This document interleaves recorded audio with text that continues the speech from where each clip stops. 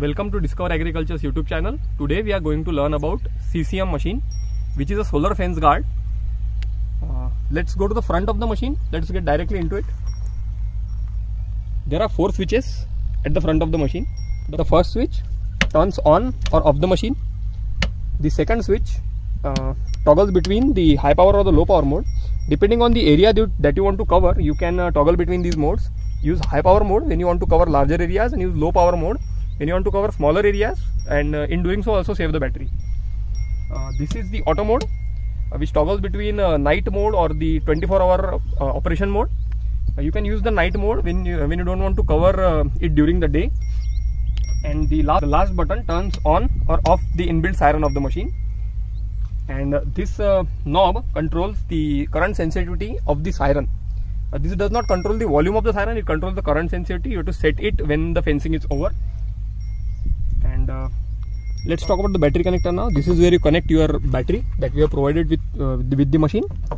This is how you connect it. Basically plugging it in.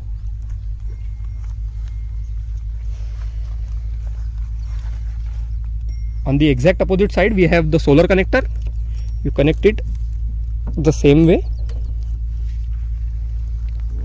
and doing that also turns on this green LED which uh, indicates us that solar panel is currently charging the battery that is connected to the machine. Now these are the two terminals that are on the back of the machine. We have flipped it uh, on the back. This is the earthing term terminal which has to be connected to the earthing and this is the phase terminal which has to connect uh, which has to be connected to the active fencing. Now this is the active fencing wire, this is the earthing wire. I'm just connecting it to this phase like so and tightening it up like you don't have to over tighten it tighten it just so that wire doesn't get loose right? And the second is the earthing terminal. Do the same thing to the earthing terminal. Don't over tighten but make sure that wire does not come off. Now we have connected the machine with the solar panel and the battery. Uh, we, we know the functions of the switches. Now let's talk about these LEDs this is the battery LED which is turned on right now because the machine is charging uh, due to solar panel this is the pulsating uh, LED that will turn on when uh, we turn on this switch. Now as you can see the red LEDs are not that great in luminance but you can see that the LED is working. Now this LED is the battery low indicator uh, which will only turn on when the battery is really low. Now this is our solar panel which we provide with the machine. This comes with 10 years of warranty now let's talk about uh, the fencing.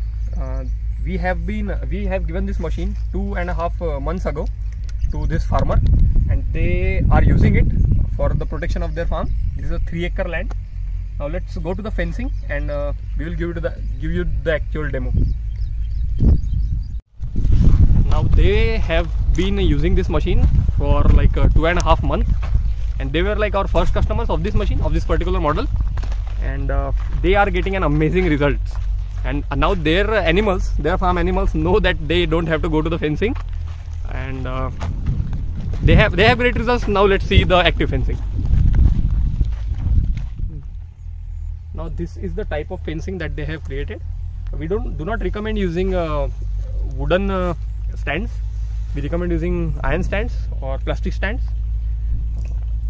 This is the insulator. This is the hook insulator which uh, keeps the wire in tension and this wire is also provided by us this is the clutch cable not a normal GI cable as you can see here this is the clutch cable not normal GI cable this as uh, this has higher uh, resistant to weather rain etc etc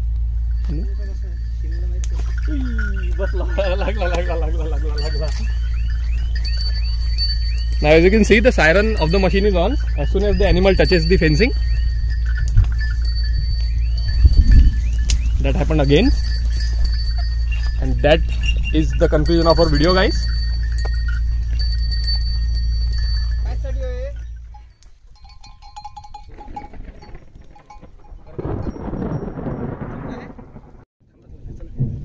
That was the video guys if you want to purchase this machine you can contact uh, on these numbers. You can send us email over here.